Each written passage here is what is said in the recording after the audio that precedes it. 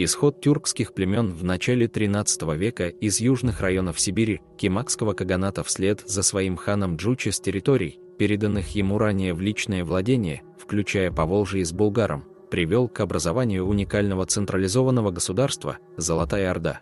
Оно расширило и модернизировало мировую торгово-транспортную сеть, Великий Шелковый путь, ускорило передвижение материальных ресурсов и обеспечило безопасность торговых путей, что подстегнуло интеграционные процессы в Евразии.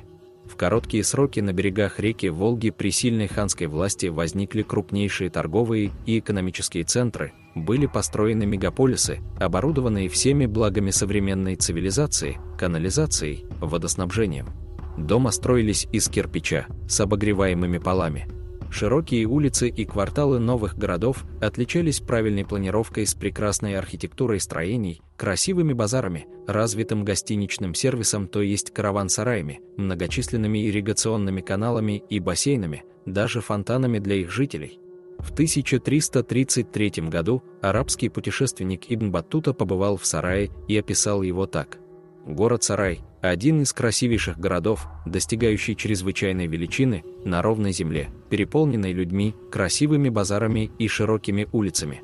Однажды мы поехали верхом, намереваясь объехать и узнать размеры города, выехали утром, а доехали до другого конца города только после полудня, и это все сплошной ряд домов.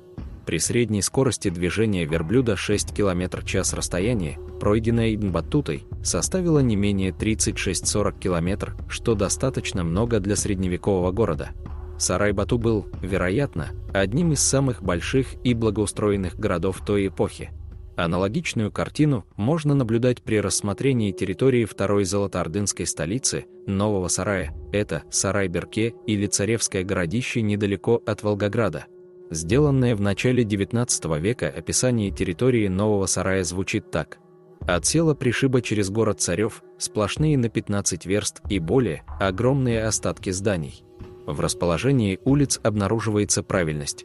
Можно узнать дом, пристройки, сад, канавы и водоемы. Развалины по реке сплошные и обширные. Можно и далее продолжать, перечисляя и описывая другие городские центры золотоордынской цивилизации – Махши, Булгар, Гулистан, Укек – это современный Саратов и далее. Но где они сейчас, где их развалины? Об исторической реконструкции Булгара – отдельный разговор.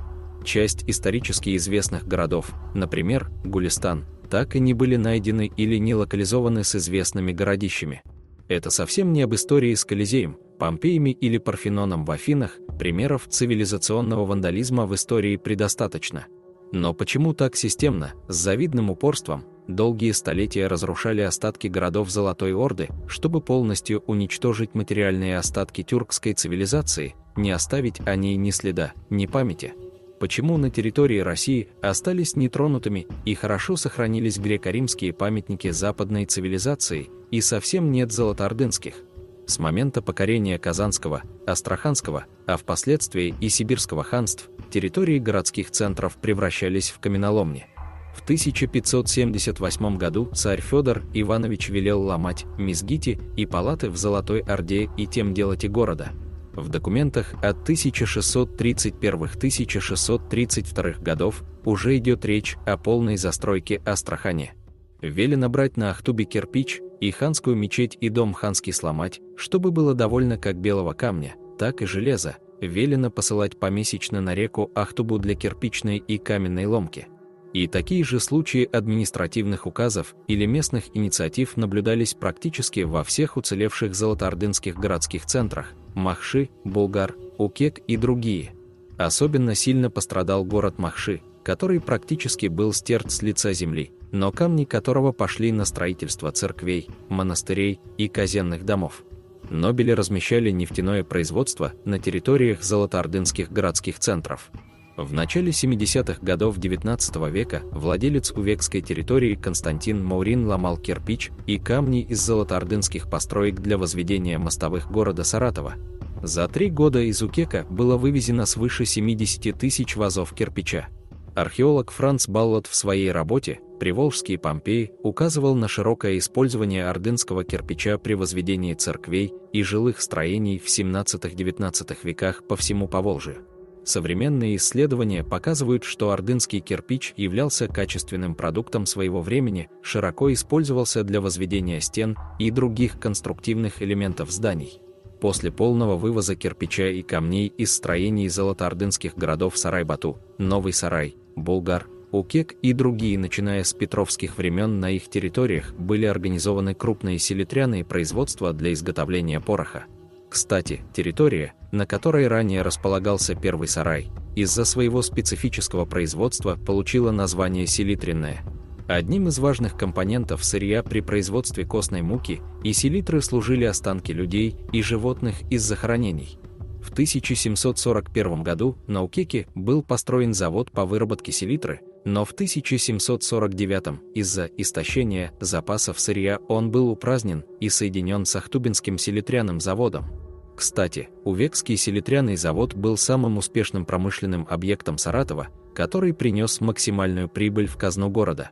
Особенно интенсивное разрушение золотоордынских городищ происходило во второй половине XIX века, когда по древним караванным путям и в местах переправ прокладывались железные дороги, строились нефтехранилища братьев Нобель. Нобели размещали нефтяное производство на территориях золотоордынских городских центров, где опять фигурируют Сарай-Бату, Новый Сарай, Укек, Болгар и другие. Остатки роскошных татарских усадеб, богатых мавзолеев на территории Укекской агломерации, были отданы под промышленные застройки Нобелей.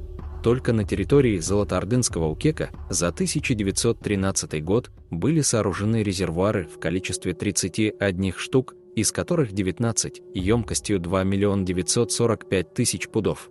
Площадки под резервуары тщательно расчищались от татарских захоронений и строений. Из фундаментных камней строились противоползневые стены, а из оставшегося строительного материала и обломков керамики формировали площадки под опорой резервуаров – причем следы бесконтрольной археологической деятельности товарищества нефтяного производства братьев Нобель нашлись лишь спустя несколько десятилетий в музеях немецких городов Берлин и Йена.